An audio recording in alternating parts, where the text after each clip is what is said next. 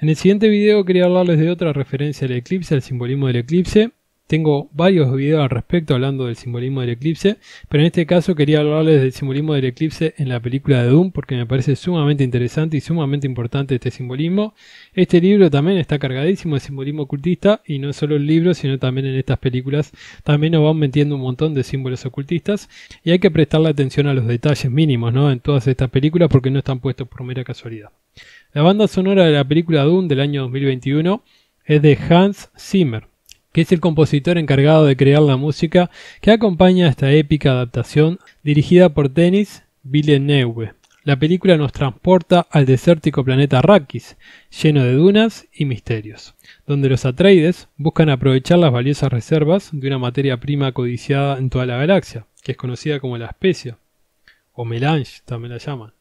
Una de las canciones destacadas, y por eso quería hacer este video, en la banda sonora es Eclipse, que Hans Zimmer compuso para la película. Esta canción hace referencia al protagonista, Paul Atreides, interpretado por Timothy Chalamet. Curiosamente, la línea All That You Touch and All That You See que escuchamos cuando Paul pone un pie en Arrakis proviene de la canción Eclipse de Pink Floyd, del álbum The Dark Side of the Moon, lanzado en 1973. Esto se traduciría como El lado oscuro de la luna. Y la portada de este disco es muy interesante porque es una pirámide, entonces una pirámide de cristal, si mal no recuerdo, que está descomponiendo la luz en el espectro, ¿no?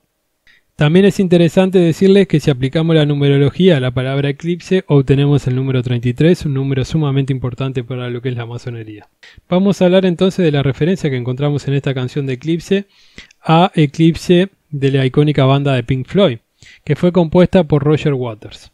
Originalmente apareció en el álbum The Dark Side of the Moon, como le digo, el lado oscuro de la luna, que fue lanzado en el año 1973. Esta obra maestra musical es el último tema del disco y se destaca por su frase de cierre. No hay lado oscuro de la luna realmente. La letra de Eclipse es profunda y llena de significado. Aquí una traducción que pude conseguir al español de la letra. Dice, todo lo que tocas, todo lo que ves, todo lo que pruebas, todo lo que sientes y todo lo que amas, y todo lo que odias, y todo lo que desconfías, y todo lo que ahorras, y todo lo que das, y todo lo que tratas, y todo lo que compras, rogar, pedir prestado o robar, y todo lo que creas, y todo lo que destruyes, y todo lo que haces, y todo lo que dices, y todo lo que comes, y a todos los que conoces, y todos los que levemente, y todos los que luchan, y todo lo que es ahora, y todo lo que se ha ido, y todo lo que está por venir, y todo bajo el sol está en sintonía, pero el sol está eclipsado por la luna. Esta canción utiliza el sol y la luna entonces como símbolo de luz y oscuridad, lo bueno y lo malo, la vida y la muerte.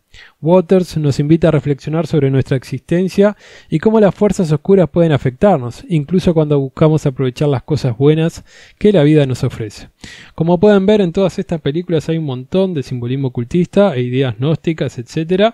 Esta es otra referencia más al simbolismo del eclipse. Las referencias son numerosas y abundantes, la van a ver por todos lados y me parece sumamente interesante. Y bueno, nada más, espero que les haya gustado el video. Si les gustó el video, apoyen al canal, denle me gusta, suscríbanse, compártanlo y nos veremos en el próximo video.